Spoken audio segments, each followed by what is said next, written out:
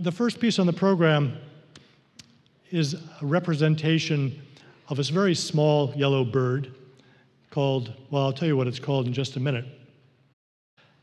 And this bird was incubated and hatched about 300 years ago in Venice, Italy.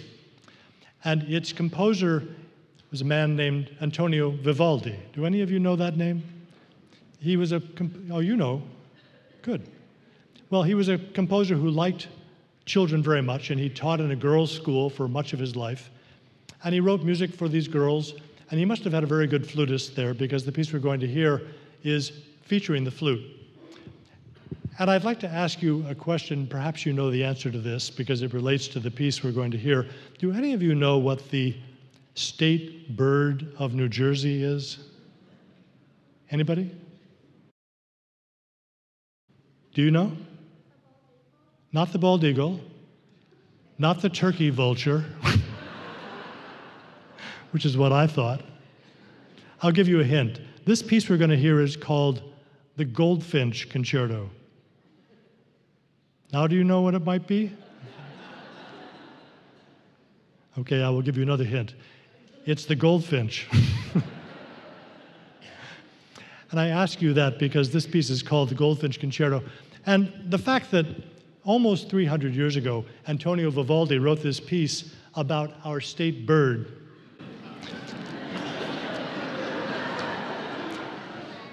tells me something. It tells me that although he was born and lived his, most of his life in Italy, he was a Jersey boy at heart. I think he liked nothing more than to get into his gondola, drift down the Grand Canal, listening to the goldfinches overhead on his way to the Passaic River. Maybe you don't believe that. Anyway, I think the only thing you have to know about this piece in order to enjoy it is what a goldfinch sounds like. Do any of you have a goldfinch feeder in your backyard? Do you? Yeah, I have one too. This morning I went out and I captured a goldfinch and I brought him here and I set him free. So he's been flying around, and I'll see if I can get him to sing for us, okay? Let's see if I can get him. I think I see him.